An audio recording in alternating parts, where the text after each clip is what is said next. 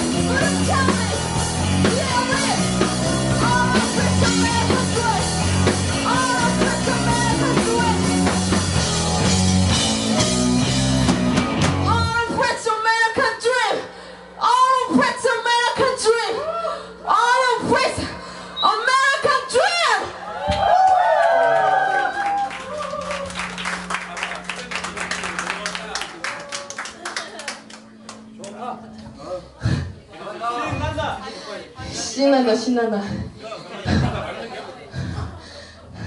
참고로 가사를 즐기게 들으시면 안 돼요. 제 맘대로 막 씹으리는 거라. 난 가사가 제일 어렵더라.